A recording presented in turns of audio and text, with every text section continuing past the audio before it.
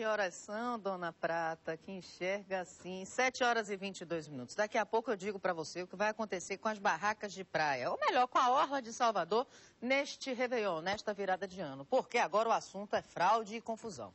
Teve fraude, acredite, creia, e muita confusão durante as eleições no Sindicato dos Servidores Municipais aqui de Salvador, nesse fim de semana. Gabriel tem mais detalhes. Ô, Gabriel, como é que essa confusão começou, hein? Olha, Daniela, na verdade, essa confusão já vinha aí se desenhando desde o início da votação. Foram dois dias de votação e durante todo esse tempo as duas chapas se rivalizando. Mas esta confusão maior, ela aconteceu justamente porque uma das chapas acusou a outra de ter influenciado na escolha da comissão eleitoral.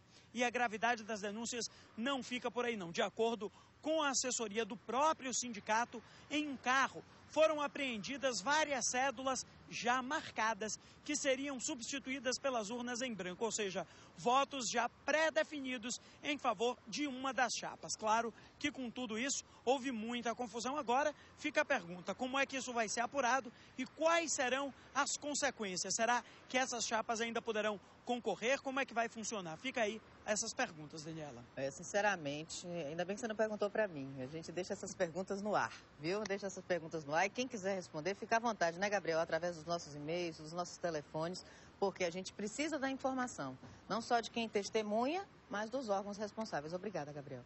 Ok, Daniela. Até daqui a pouco. Gabriel Pinheiro, que daqui a pouco também entra no Fala Brasil com as notícias do nosso estado. Agora, aqui na capital, duas barracas de praia pegaram fogo na madrugada de hoje, em Piripiri e Plataforma. Os incêndios, segundo os bombeiros, aconteceram em horários e lugares próximos. Então, os bombeiros estão intrigados. O que, que houve? O que, que aconteceu? Se você tiver alguma informação, denuncie.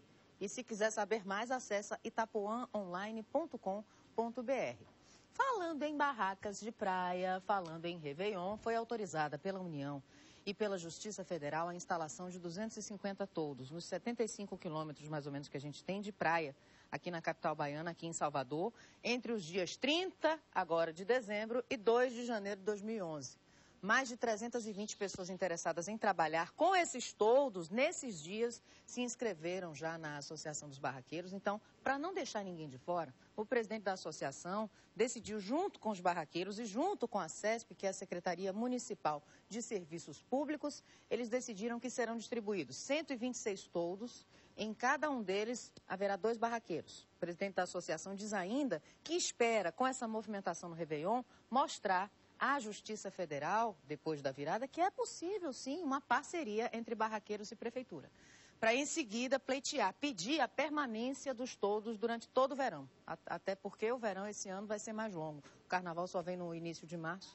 Os toldos devem ficar dispostos a uma distância de 40 metros entre si no trajeto que vai de Praia do Flamengo a, São Tomé de Paripe, não é isso, Prata? Exatamente. E como os comerciantes não terão energia elétrica, não poderão, obviamente, vender alimentos, frituras, nem utilizar fogareiros ou freezers. Estamos aguardando da Prefeitura a, a resposta a respeito de como eles vão fazer, né? Soube que eles iam colocar algumas gambiarras ou algumas instalações elétricas, mas isso ainda não está definido. Vamos aguardar. Agora eu quero saber do nosso link móvel como está o trânsito. Cadê Vinícius Cunha? Daqui a pouquinho a gente chama ele, né? E daqui a pouquinho também tem as vagas de emprego para você. Falando em vaga de emprego, venha logo com essa matéria, seu Dante, pode ser? Você gosta de chocolate? E você gosta de emprego? Então, inaugurada em Ibicaraí, centro-oeste do estado, a primeira fábrica de chocolate do Brasil com base na agricultura familiar. Isto é maravilhoso, minha gente. Esse maquinário que você está vendo aí transforma a amêndoa em bombons, em barras de chocolate. Que delícia, em massa de cacau. Nosso governador Jacques Wagner esteve presente na inauguração. A matéria-prima é fornecida por pelo menos 300 pequenos agricultores de seis municípios do sul da Bahia. Lembrando que quem come é, presunto de Parma na Itália o, a região de Parma, na Itália, olha aí o governador visitando e provando o chocolate. A região de Parma, na Itália, hoje é uma das mais conhecidas no mundo exatamente por implementações como essa, de agricultura familiar. E assim que se desenvolva, né, lá no interior do estado, essa, essa fábrica. Podemos ouvir agora o governador Jacques Wagner? O governador falou sobre a importância desse empreendimento. Veja. Essa fábrica vai ser gerida por uma cooperativa para atender exatamente os produtores da agricultura familiar daqui. E óbvio que o que eu quero é que a partir daqui eles cresçam cada vez mais. Parabéns, governador. Parabéns por mais essa implementação. Enquanto a família, os amigos, os parentes, os vizinhos e até quem não conhecia o menino Joel Castro, morto aos 10 anos em uma operação policial no Nordeste de Amaralina. Então, enquanto esse povo todo fazia uma caminhada pedindo paz no bairro, um adolescente era morto a tiros, na feirinha do Nordeste. Aliás, o rapaz foi assassinado na mesma feira onde a gente gravou reportagens sobre a violência e sobre os trabalhadores do bairro. Veja como é a vida. O corpo do adolescente que tinha, sim, ligações com o tráfico de drogas deve ser liberado ainda hoje, pela manhã. Veja mais detalhes na reportagem. Na feirinha onde ocorreu o crime, ninguém quer falar sobre o assunto. As manchas de sangue do adolescente ainda estão no local. Douglas Oliveira de Jesus foi morto com quatro tiros. Douglas foi socorrido por uma guarnição da Polícia Militar e o avô, um sargento da reserva, que presenciou tudo e evitou falar com a imprensa. Ele contou aos policiais que um rapaz chegou sozinho e efetuou vários disparos contra o adolescente. Uma outra pessoa também foi atingida por uma bala perdida. A outra vítima foi identificada como Jorge Rodrigues do Nascimento, de 55 anos. Ele foi atingido no pé por uma bala perdida quando estava próximo ao adolescente. Ele já passou por uma cirurgia e está fora de perigo. O delegado que investiga o caso disse que o garoto tinha envolvimento com tráfico de drogas na região tanto que a família dele o manteve fora do estado durante seis meses. O acerto de contas com os bandidos teria sido a causa da morte. Aqui é uma região altamente perigosa, principalmente na questão ligada à droga, né? Todas as questões ligadas à droga, geralmente, quando não se paga, se, se mata. O inquérito já foi aberto, né? As investigações estão prosseguindo e vamos ver se a gente consegue chegar ao autor, né? Olha, que isso sirva de exemplo para todos os jovens que imaginam que tráfico de drogas vai dar status, vai dar dinheiro, isso é mera ilusão. Mais uma vez a gente mostra mais um jovem que morre por causa desta porcaria desta droga. Veja, o menino passou seis meses fora de casa, porque é assim, como o delegado falou, se ele pega a droga, qualquer quantidade que seja, e ele não paga a droga né, a quem ele pegou, ele paga com a vida. Simplesmente.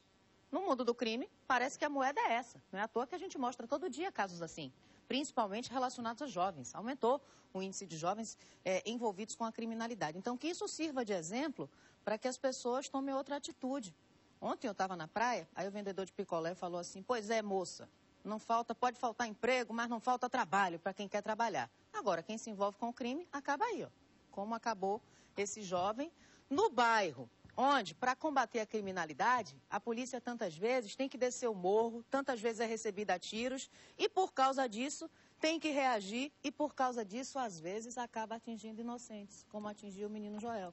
Segundo o laudo pericial, foi mesmo da arma do PM que saiu, ou que saíram as balas que mataram Joel Castro, de 10 anos, em uma operação policial da polícia que, obviamente, não queria matar um inocente, queria sim acabar com o tráfico de drogas na região. Tá vendo como está o negócio por lá? Pesado, pesado. E o rapaz veio direto mesmo pro menino, viu? Entrou na feira, foi direitinho para ele. E deu quatro tiros, descarregou a arma. Ainda atingiu um outro inocente. Que sirva de exemplo. Que sirva de exemplo, viu?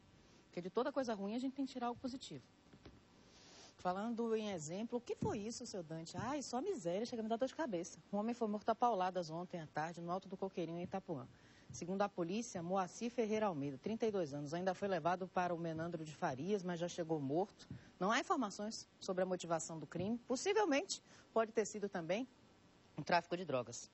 O caso está sendo investigado pela Delegacia de Itapuã. Se você tem informações, usa o 3235-0000. Mais violência. Seis pessoas foram baleadas em uma tentativa de assalto a ônibus em Lauro de Freitas. Dois assaltantes entraram no Buzu, deram a voz. O ônibus fazia a linha BTU terminal da França Arembepe. Então eles entraram, anunciaram o assalto, um passageiro reagiu, teve troca de tiros e esse povo todo foi baleado. Que tal? Veja detalhes com Vinícius Cunha.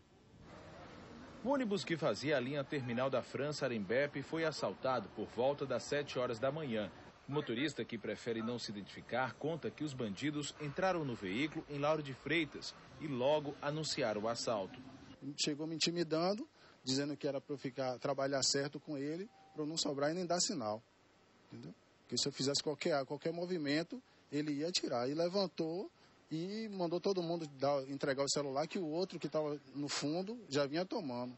Quando o ônibus chegou neste ponto, os bandidos foram surpreendidos por um passageiro de identidade não identificada que estava armado. O homem atirou contra um dos assaltantes, que, mesmo ferido, reagiu dando início à troca de tiros. Seis pessoas ficaram feridas, entre elas os dois bandidos, um de prenome André, de 28 anos, e o outro Anderson Santos, de 25 anos. Antônio Maia, de 13 anos, foi baleado na perna e Josemar dos Santos Oliveira, de 41 anos, nas costas e também na perna. Todos estão internados no Hospital Geral do Estado. Outros dois passageiros, atingidos de raspão, foram encaminhados para o Hospital Menandro de Farias, em Lauro de Freitas. Quem utiliza o transporte público na região anda assustado. Escondo tudo que eu tenho. Eu deixo mesmo o essencial. Porque dá medo. Você tem que ficar esperto, tem que ficar de olho, porque senão você sobra. Hum, e ainda diminuiu o número de assaltos a ônibus, imagine. Agora, que tipo de assaltante miserável? Todos são miseráveis, obviamente. Agora, que tipo de coisa, né, seu Dante?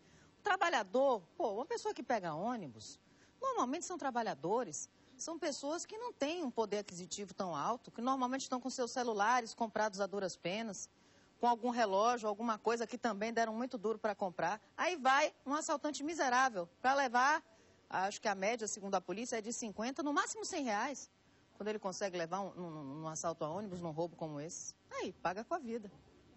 A situação está ficando cada vez mais crítica, viu? E essas pessoas deviam se, se conscientizar. Se conscientizar da importância de buscar outro caminho. Mas, porque tem gente que eu acho que para determinadas pessoas a vida não vale nada. Pelo menos é o que parece. Olha, Dante, mas eu vou aqui lhe perguntar uma coisa. Você quer primeiro a notícia boa ou a notícia ruim?